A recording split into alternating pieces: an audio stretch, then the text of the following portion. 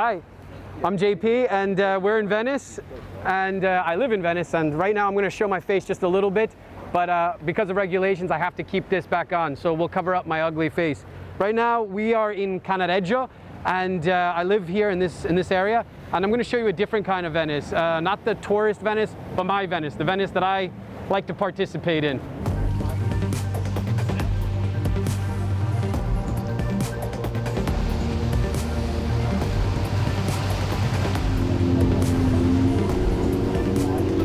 Out here in the lagoon. As you can see, it's pretty foggy today. And the guy, the, this handsome gentleman sitting next to me is Matthias Luhmann. Uh, he's a master boat builder and he came all the way from Hamburg. And what's cool about him is he's one of the first, I think the, the first, right? You were the first. The only one. The only one to build a gondola that was a foreigner to build a gondola an outsider and have it sold to a Venetian gondoliere and have it used on the Grand Canal. So he's kind of a legend. He works with us at Classic Boats Venice, um, the company that I'm the director of, and uh, we, we restore traditional uh, Venetian boats. And now uh, we're going to the Arsenale just to say a hello. Um, this is kind of a cool place. Let's see if the police stop us. But we're going into the Arsenale, which is one of my favorite places because we're talking about boats and everybody that works here is in love with boats. You, you can't be in Venice without loving boats because it's part of the history. And where we are in right now, this at one time, this is one of my favorite places to be, was the biggest shipyard in the entire world. And the first kind of factory lines started here in Venice. It's pretty thick.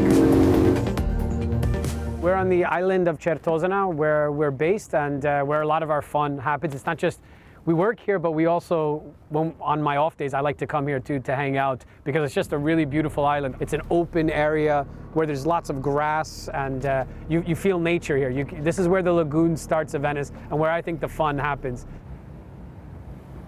Right over there, you can see that abandoned structure there. That structure is about from the 1400s. Don't quote me on that.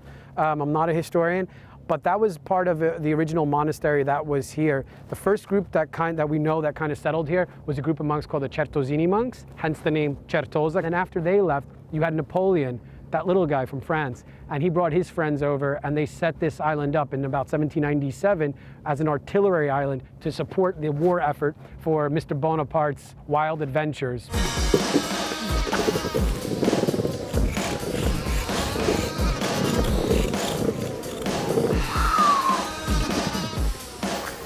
You are not allowed to skateboard at all in Venice. So that I work in Certosa, this beautiful island, it's amazing that I have all this space.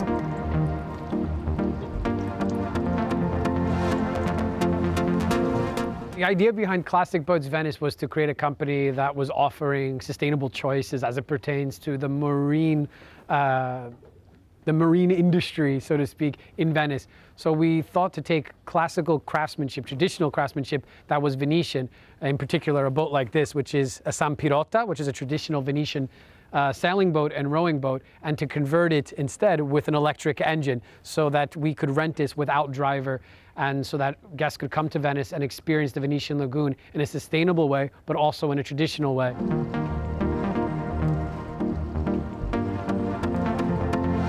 This boat over here, this is super cool boat. This is Sweet Molly from 1938. She's our flagship boat. This was one of the first boats that, that, that we brought into the company, um, and we had a, did a full restoration of the boat. This is Lady Betty, and this was part of Queen Victoria's fleet, and uh, it was used not by the Queen herself, but it was used by her admiral um, in the 1800s to kind of get to land from the bigger ships. This is the coolest part, the original gearbox from 1894.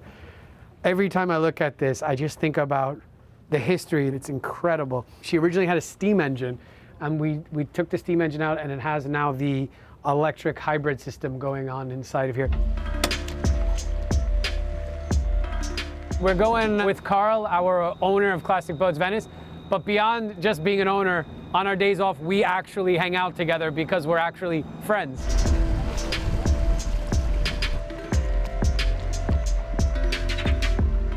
This is where the real Venetians live, work, and they come home to. and you're only going to hear Venetian language here. No one's speaking Italian here. And uh, you're going to find the real heart and soul of what moves Venice here. This area is called Castello. And I love, I love coming here on days off if I want to have a $12 meal. They call it uh, menu operai. It's the, uh, the worker's meal, so to speak. And what you're going to see here is when people tend to think of Venice, they tend to think of people in these extravagant clothes and beautiful shiny clothes.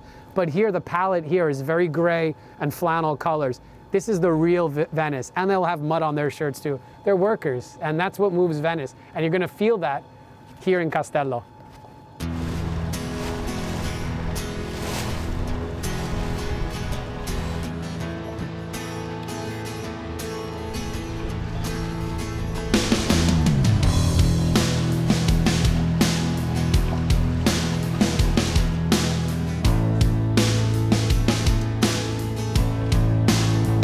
Have the Squero, which is a place where uh, they're building gondolas, repairing gondolas, and also traditional Venetian boats.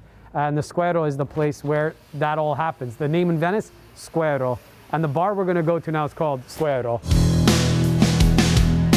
It's traditionally Venetian, and you can find amazing cicchetti, which are the traditional Venetian styled tapas. And it's just the perfect place to, to meet people, but also see the scene outside, where you get to see the amazing boats being built uh, while you have a, a, beautiful drink. There's nothing more indicative of Venezia than this place. And I, I, totally recommend it. It's not expensive. It's run by Venetians. It's owned by Venetians. And uh, you get a sense of what Venice is and was now. And I like it a lot.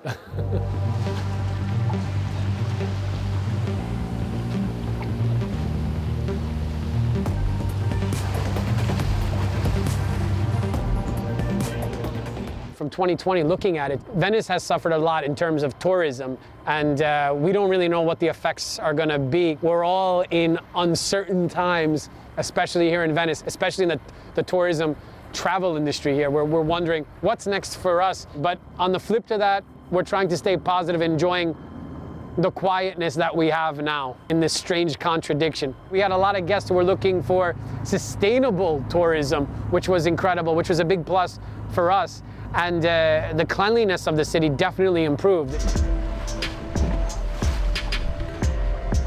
It was a pleasure to welcome you inside Venice into the day in the life of someone living in Venice.